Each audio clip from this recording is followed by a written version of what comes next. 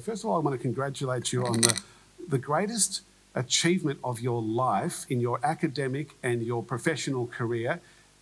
Now, as of last week, you're my boss. I am. Scary. Tell us a bit about what a bit about your background. So yeah, I'm an educator.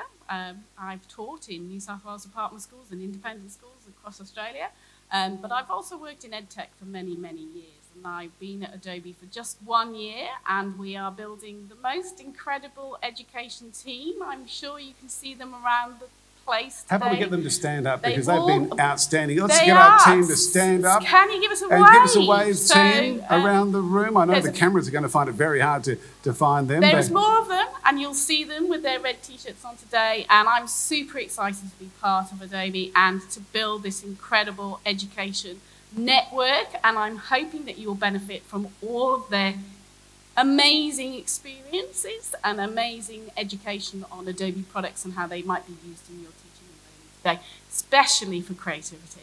And also the use of safe and generative AI, because Adobe is right in that space and understanding how we can use that with our students safely and equitably is really important as well.